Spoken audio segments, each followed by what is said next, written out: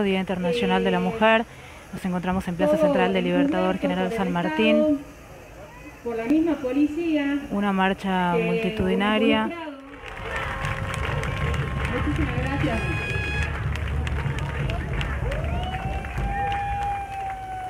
Buenas noches compañeras, compañeros. Soy Juan Aliaga, hermano de En este momento Juan Aliaga, hermano de Rosa Aliaga. Hace seis años ya. Seguimos esperando justicia igual que Romino. Lamentablemente la policía no está capacitada para estos casos. Se llevaron muchísimas pruebas esa noche. Lamentablemente no está involucrado nadie. Lamentablemente. Muchas pruebas se llevaron esa noche. ¿Qué pedimos? Que capaciten a la policía para estos casos. Que sean capacitados. Que escuchen las denuncias que las mujeres hacen. Que no esperen a que estén muertas para recién actuar queremos pedir también que el Estado se haga cargo de este caso. Hace seis años que está estancado. Hace seis años que en la Fiscalía número 11 de San Pedro, del doctor Blanco, queda todo ahí, no hay nada, ningún avance. ¿Qué pedirles? Comprometerse, comprometerse siempre. No puede ser que nadie haya visto nada.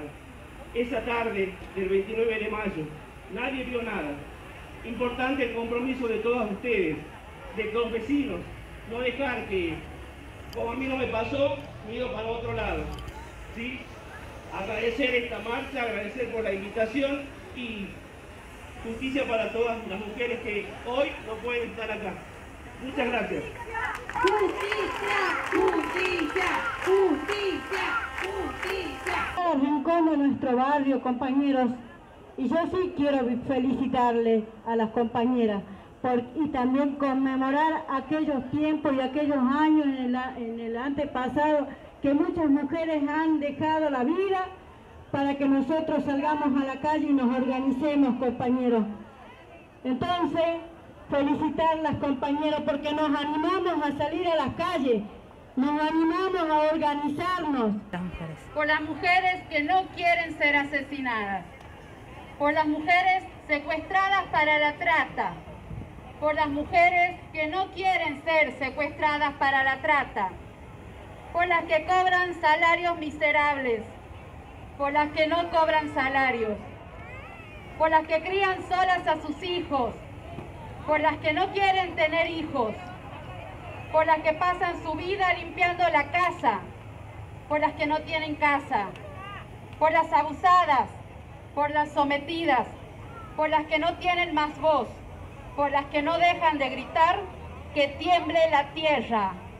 Buenas noches, compañeras y compañeros de mi organización de mujeres, plenario de trabajadoras. Saludamos, abrazamos a cada una de las compañeras que hoy se encuentra en esta nueva jornada de lucha, como es la del 8 de marzo, Día Internacional de la Mujer Trabajadora.